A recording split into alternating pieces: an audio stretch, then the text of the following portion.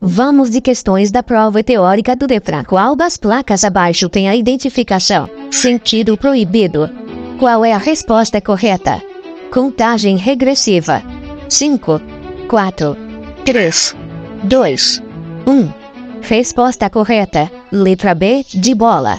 Sentido proibido. Identificação das demais placas. Placa A. É identificada como proibido virar à esquerda. Placa C é identificada como proibido retornar à esquerda. Placa D é identificada como proibido trânsito de caminhões. Qual das placas abaixo tem a identificação proibido trânsito de veículos automotores? Qual é a resposta correta? Contagem regressiva. 5, 4, 3, 2, 1. Resposta correta. Letra A. Identificação das demais placas. Placa D. É identificada como proibido trânsito de motocicletas, motonetas e ciclomotores. Placa C é identificada como proibido o trânsito de tratores e máquinas de obras. Placa D.